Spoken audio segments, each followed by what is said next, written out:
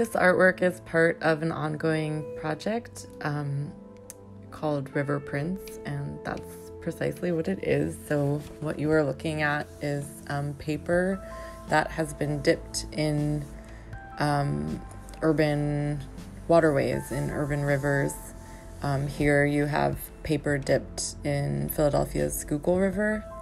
Um, and the kind of flotsam and um, pollutant at the top of the river surface makes a um, almost marbling effect. Um, so you get this really kind of entrancing patterning, pattern, patterning on the surface of the paper, um, but without even having to add anything, obviously, to the river.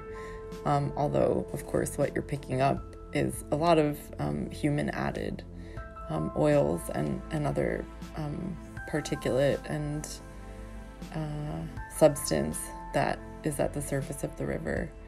Um, so, you know, each one of these prints, in a way, is a, a, a kind of moment in um, time in the river's uh, movement.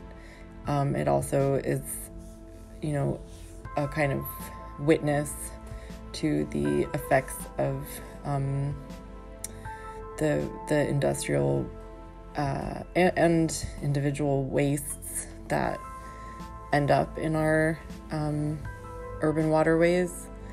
Um, and so these um, this selection of prints is also displayed on um, debris that washed up in the Schuylkill River um, after a storm. Um, other kind of elements from the built world that that have ended up in the river. So um, the work is on uh, paper, and again, um, nothing added to the river, but just dipped um, and and capturing what is on the surface, and then mounted on um, debris from the Schuylkill River in Philadelphia.